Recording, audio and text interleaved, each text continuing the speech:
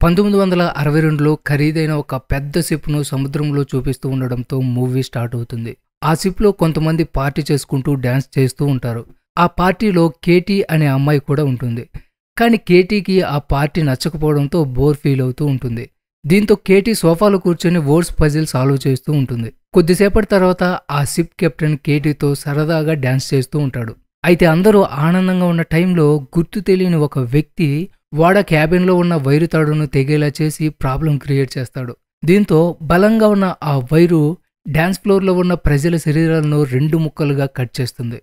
ఇదంతా ఒక్క సెకండ్ కాలంలోనే జరుగుతుంది. ఏం జరిగిందని తెలుసుకునేలేపోయి వాళ్ళ బాడీలు తలలు తెగిపడుతుంటాయి. అందరూ దారుణంగా చచ్చిపోతారు. అయితే హైట్ తక్కువగా ఉండడం వల్ల కేటీ అనే అమ్మాయి మాత్రమే బ్రతుకుతుంది. కేటీ తనతో డ్యాన్స్ చేస్తున్న కెప్టెన్ వైపు చూస్తుంది. కెప్టెన్ ముఖం కూడా రెండు భాగాలుగా విడిపోతుంది. అది చూసి కేటీ భయంతో గట్టిగా అరుస్తుంది. కట్ చేస్తే ప్రెజెంటేస్. సముద్రంలోని ఒక బోట్లో కొంతమంది స్టాఫ్ కనిపిస్తారు. వీళ్ళు సముద్రంలో చిక్కుకున్న ఓడలకు సహాయం చేస్తూ వాళ్ళని రక్షిస్తూ ఉంటారు. వాళ్ళిప్పుడు ఆ పనిలోనే బిజీగా ఉన్నారు. అయితే ఆ పనికి భారీ మొత్తంలో డబ్బు తీసుకుంటారు. సో వాళ్ళు చేసిన పని సక్సెస్ అవడంతో అందరూ చాలా సంతోషంగా సెలబ్రేట్ చేసుకుంటూ ఉంటారు. వీళ్ళు ఒక అమ్మాయితో సహా మొత్తం ఆరు మంది ఉంటారు. ఈ టీంకి ఒక కెప్టెన్ కూడా ఉంటాడు. తనని మిగతా వాళ్ళందరూ గౌరవిస్తారు. ఆ గ్రూప్లో ఉన్న అమ్మాయి పేరు ఏప్స్. మిగతా వాళ్ళందరూ తన కొలీగ్స్. అయితే వీళ్ళందరూ మాట్లాడుకుంటున్నప్పుడు జాక్ అనే వ్యక్తి అక్కడికి వస్తాడు. వాళ్ళతో వెదర్ ఫోర్ క్యాస్ట్ ద్వారా సముద్రంలో ఒక ఓడను నేను చూశానంటూ ఒక ఫోటోని చూపిస్తాడు. తర్వాత ఆ ఓడ గురించి నేను మీకు చెప్తాను కాబట్టి వచ్చిన వాటిలో నాకు ట్వంటీ పర్సెంట్ ఇవ్వాలని జాక్ అంటాడు. దీంతో టీం కెప్టెన్ తన టీంతో దీని గురించి మాట్లాడతాడు. వాళ్ళెవరూ ఈ పని చేయడానికి ఒప్పుకోరు. ఆ షిప్లో మనకి ఏది దొరికినా కూడా ఆరు భాగాలుగా విడదీసి అందరికీ పంచడం జరుగుతుందని వాళ్ళ కెప్టెన్ చెప్తాడు. దీంతో వాళ్ళందరూ కూడా ఒప్పుకుంటారు. జాక్తో నీకు ట్వంటీ పర్సెంట్ ఇవ్వలేను టెన్ పర్సెంట్ మాత్రమే ఇస్తానని కెప్టెన్ అంటాడు. దీంతో జాక్ టెన్ పర్సెంట్ తీసుకోవడానికి ఒప్పుకుంటాడు. కానీ నేను మీతో పాటు వస్తానని కండిషన్ పెడతాడు. మరుసటి రోజు వాళ్ళు బోట్ తీసుకుని ప్రయాణం మొదలు పెడతారు. అలా సముద్రంలో ప్రయాణిస్తున్నప్పుడు జాక్ చెప్పిన ఆ ఓడ ఎక్కడా కూడా కనిపించదు. అది ఎక్కడో కనిపించకుండా పోయిందనుకుని ఎవరి పనిలో వారు ఉంటారు. అయితే బోట్ నడిపే అతను అక్కడున్న సిగ్నల్ ద్వారా మన ముందు ఏదో ఉందంటూ తన కెప్టెన్కి చెప్తాడు. అయితే సడన్గా ఆ బోట్ ముందు ఒక పెద్ద షిప్ కనిపిస్తుంది. సడన్గా కనిపించడంతో వీళ్ళ బోటు ఆ షిప్ని ఢీకొంటుంది. కానీ ఎవరికీ పెద్దగా ప్రమాదం జరగదు. ఇప్పుడు మనం చూస్తున్నది స్టార్టింగ్లో ప్రయాణికులు చనిపోయిన అదే ఓడ. వాళ్ళ టీం కెప్టెన్ వాళ్ళతో ఈ షిప్ నలభై సంవత్సరాల ముందే కనిపించకుండా పోయిందని షిప్ గురించి చెప్తాడు. తర్వాత జాక్ని ఇంకో వ్యక్తిని బోట్లో ఉంచి మిగతా వారంతా ఆ షిప్ని చెక్ చేయడానికి వెళ్తారు. వాళ్ళు లోపలికి వెళ్ళగానే కేటీ అనే అమ్మాయి పజిల్ గేమ్ అక్కడ కనిపిస్తుంది. అయితే ఆ పజిల్ గేమ్ ఆటోమేటిక్గా వెల్కమ్ అనే పదాలను చూపిస్తుంది. కనిపించని ఏదో శక్తి వల్ల ఆ పజిల్ గేమ్ అలా ఆటోమేటిక్గా మారి ఉంటుంది. ఇదంతా తుప్పు పెట్టినట్లుంది. జాగ్రత్తగా నడవండి అని హెడ్ వాళ్ళతో అంటాడు. అలా ఒక వ్యక్తి వెళ్తున్నప్పుడు కాలు జారి కింద పడుతుంటే ఏప్స్ అనే అమ్మాయి అతన్ని పట్టుకుంటుంది. సరిగ్గా అదే టైంలో మూవీ స్టార్టింగ్లో కనిపించిన కేటీ అనే అమ్మాయిని ఏప్స్ చూస్తుంది.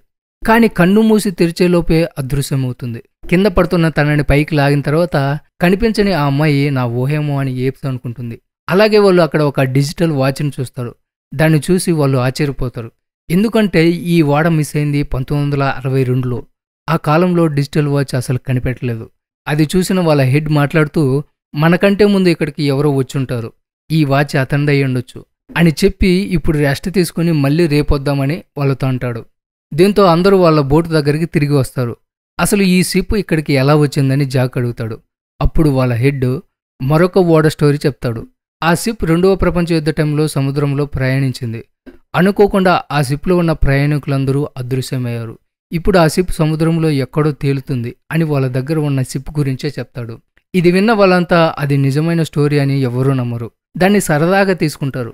తర్వాత జాక్ ఏప్స్ దగ్గరికి వెళ్ళి నువ్వు షిప్ నుంచి వచ్చినప్పటి నుంచి చాలా మౌనంగా ఉన్నావు. దీనికి కారణం ఏంటి? అని అడుగుతాడు. నేను ఆ ఓడలో ఒక చిన్న అమ్మాయిని చూశాను అని ఏప్స్ అంటుంది. ప్రయాణం చేసేటప్పుడు ఇవన్నీ సర్వసాధారణమని జాక్ గుడ్ నైట్ చెప్పి వెళ్ళిపోతాడు. నెక్స్ట్ రోజు మార్నింగ్ ఆ షిప్కి పెద్ద రంధ్రం ఉందని వాళ్ళు తెలుసుకుంటారు. దీంతో ఆ షిప్ క్రమంగా మునిగిపోతుంది. సో దానిని బయటికి తీయడం అసంభవం. ఆ ఓడ ఎక్కిన తర్వాత అందరూ బిజీగా ఉంటారు. టైం గడిచే కొద్దీ విచిత్రమైన సంఘటనలు అక్కడ జరుగుతాయి. ఏప్స్ ఖాళీగా ఉన్న స్విమ్మింగ్ పూల్ దగ్గరికి వెళ్తుంది. అక్కడ బుల్లెట్లను గమనిస్తుంది. స్విమ్మింగ్ పూల్ లోపలికి వెళ్ళి ఆ బుల్లెట్లను పరిశీలించి బయటకు వస్తున్నప్పుడు తను మళ్ళీ కేటీని చూస్తుంది. సడన్గా చూసేసరికి తను భయపడి ఖాళీగా ఉన్న స్విమ్మింగ్ పూల్లో పడిపోతుంది. దీంతో తన తలకి గాయమయ్యి రక్తం కింద పడుతుంది. అయితే విచిత్రంగా ఆ రక్తం స్విమ్మింగ్ పూల్ లాగేసుకుంటుంది. ఈలోపే అక్కడికి జాక్ వచ్చి ఏప్స్ని స్విమ్మింగ్ పూల్ నుంచి బయటికి తీసుకొస్తాడు. వాళ్ళు అలా ముందుకు వెళ్ళగానే స్విమ్మింగ్ పూల్ మొత్తం రక్తంతో నిండిపోతుంది. లోపల డెడ్ బాడీస్ తేలుతూ ఉంటాయి. మరోవైపు అక్కడ ఒక గ్లాస్ మందు ఉండడం టీం హెడ్ అక్కడ చూస్తాడు. దాన్ని తాగడానికి ప్రయత్నం చేస్తాడు. కానీ అద్దంలో సముద్రపు కెప్టెన్ కనిపిస్తాడు. దీంతో భయపడి గ్లాస్ కింద పడేస్తాడు. మరోవైపు ఇంకో వ్యక్తి ఒక అమ్మాయి పాట పాడటం వింటాడు. అతను ఆ పాటను అనుసరిస్తూ వెళ్తాడు. కానీ ఆ పాట ఎక్కడి నుంచి వస్తుందో తను కనుక్కోలేకపోతాడు. కానీ అక్కడ ఒక అమ్మాయి ఉన్నట్లు మనం చూస్తాం. ఆ అమ్మాయి మనకు మూవీ స్టార్టింగ్లో అంటే పంతొమ్మిది వందల అరవై రెండులో పాట పాడుతూ కనిపించిన అమ్మాయి. మరోవైపు జాక్ ఏప్స్ ఒక క్యాబిన్కి వెళ్తారు. అక్కడ నీటిలో చాలా డెడ్ బాడీస్ వాళ్ళకి కనిపిస్తాయి. ఆ డెడ్ బాడీస్ చాలా సంవత్సరాలుగా ఉండడంతో కుళ్ళిపోయి వాసన వస్తూ ఉంటాయి. వెంటనే వాళ్ళు అక్కడి నుంచి బయటకు వస్తారు. ఏప్స్ జాక్తో మనం ఇక్కడ ఒక్క క్షణం కూడా ఉండకూడదు అంటూ ముందుకు సాగుతారు. అయితే వారు అక్కడే కొన్ని చెక్క పెట్టెలను చూస్తారు. ఓపెన్ చేసి చూస్తే మొత్తం బంగారంతో నిండి ఉంటుంది. ఏప్స్ మిగిలిన వారందరినీ కూడా పిలుస్తుంది. అక్కడ మొత్తం పది చెక్క పెట్టెలుంటాయి. అన్ని బంగారంతో నిండిపోయి ఉంటాయి.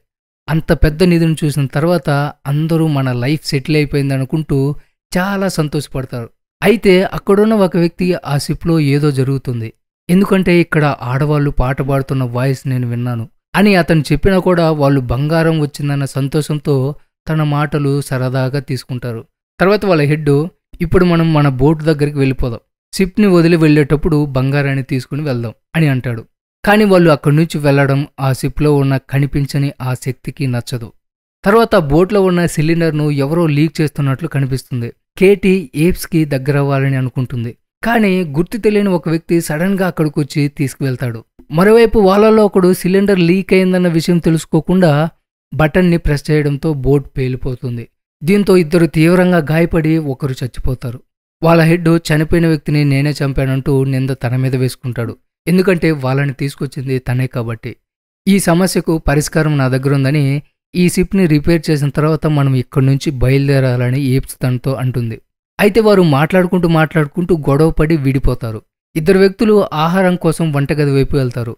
వాళ్ళకి తినడానికి తిండి దొరుకుతుంది. సంతోషంగా తింటూ ఉంటారు. అది చాలా రుచికరంగా ఉంటుంది. కానీ వాళ్ళు క్రమంగా పురుగులను తినడం గమనిస్తారు. అది తెలుసుకున్న తర్వాత వాళ్ళు వాంతి చేసుకుంటారు. హెడ్ కూడా సముద్రపు కెప్టెన్ కలుసుకొని ఇద్దరూ మందు తాగుతారు. ఏప్స్ కేటీ కోసం తిరుగుతూ ఒక రూమ్లోకి వెళ్తుంది. మరో వ్యక్తి తన భ్రమ వల్ల ఒక పార్టీలో పాట పాడిన అమ్మాయిని కలుసుకుంటాడు. ఇటువైపు ఏప్స్ కేటీ ఉరివేసుకున్న అస్థిపంజరాన్ని గమనిస్తుంది. అదే టైంలో కేటీ ఏప్స్ ముందు కనిపిస్తుంది. నేను రాబోయే రోజుల్లో నా తల్లిదండ్రుల వద్దకు వెళ్తానని కేటీ ఏప్స్కి చెప్తుంది. మేము మరొక షిప్ నుంచి బంగారం మొత్తం దోచుకున్నామని హెడ్కి సముద్రపు కెప్టెన్ ఒక ఫోటో చూపిస్తాడు. హెడ్ అది చూసి చాలా భయపడతాడు. కేటీ ఏప్స్తో నాకు చాలా ఆత్మలు కావాలి. చాలామంది ఆత్మలను పొందడం వల్ల నా ఆత్మకు విముక్తి లభిస్తుందని అంటుంది.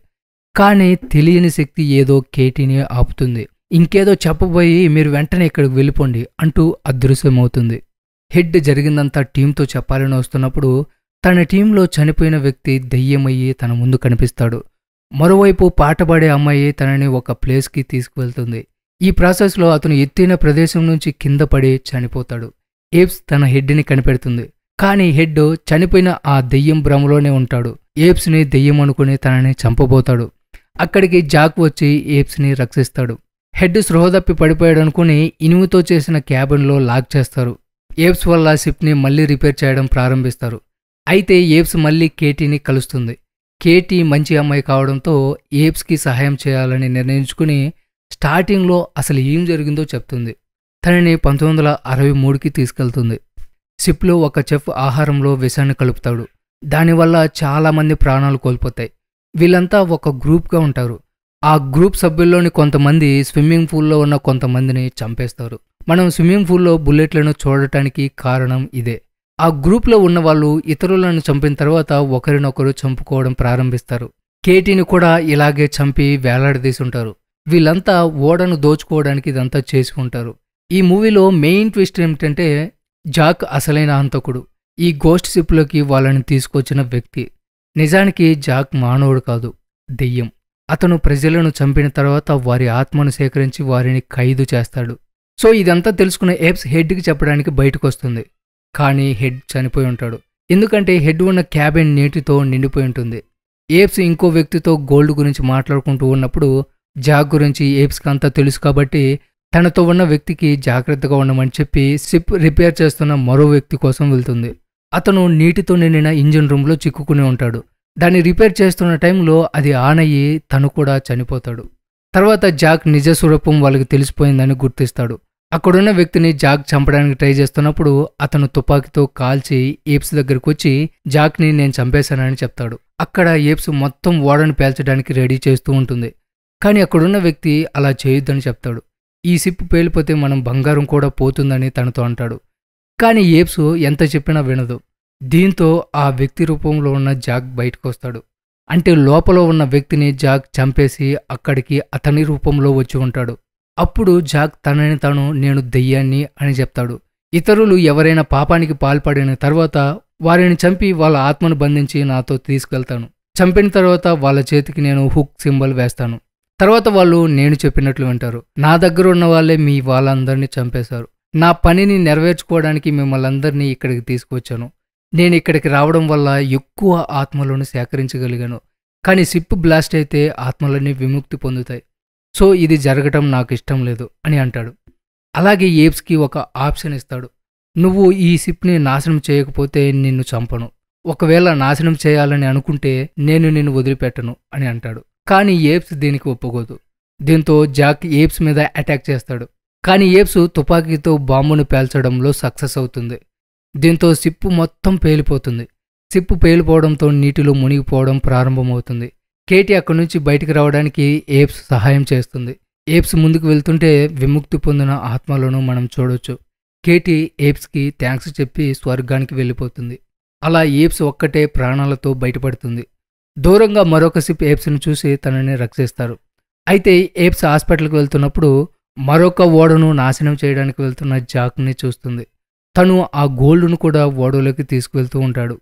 ఏప్స్ తనను చూసి గట్టిగా అరవడంతో సినిమా ఎండ్ అవుతుంది. సో ఇది ఫ్రెండ్స్ ఇవాళ video. Don't forget subscribe. Thanks for watching.